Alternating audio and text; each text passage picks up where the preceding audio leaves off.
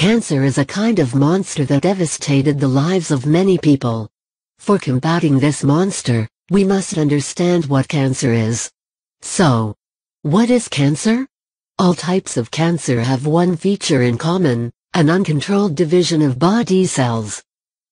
There are over 100 different types of cancer. Our body is made up of billions of building blocks, the cells. Our body makes new cells, so the body can grow and replace damaged and old cells. New cells produced by cell division. From one cell genesis two new cells, from these two cells four, then eight, and so on. The body normally regulates cell division.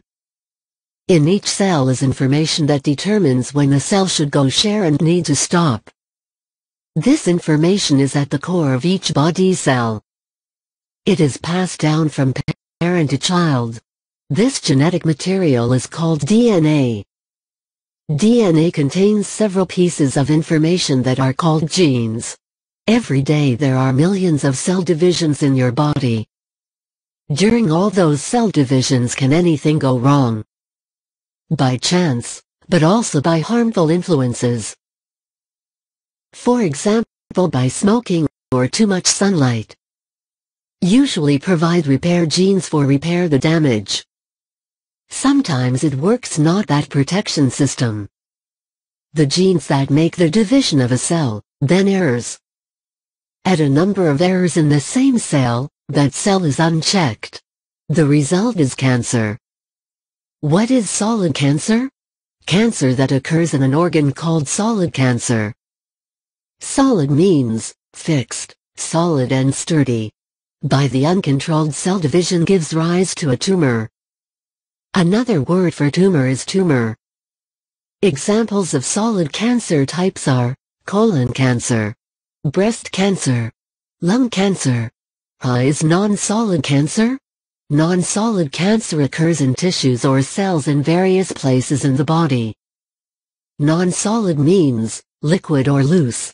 These cancer cells are so not in a body, but in the blood, the lymphatic system or the liquid portion of the bone marrow. The blood vessels and lymphatic system are transport systems in our body. Thus, the disease rapidly spread to other places in the body. Examples of non-solid cancer types are leukemia, acute and chronic leukemia, lymph node cancer, Hodgkin's and non-Hodgkin's lymphomas, multiple myeloma, good and malicious. There are benign and malignant tumors. Only a malignant tumor is cancer. Benign growths do not grow by other tissues. And they spread not by the body. An example of a benign tumor is a fibroid in the uterus or a wart. Such a tumor may against surrounding tissues or organs. This can be a reason to remove the tumor. In malignant tumors, the cells are quite different. This is because the genes that control the cells are damaged. A malignant tumor can grow in surrounding tissues and organs. A malignant tumor cells can become loose. That cancer cells can via the blood and or lymph somewhere else in the body. They can attach themselves there and grow into new tumors. These are metastases. Another word for metastasis is metastases.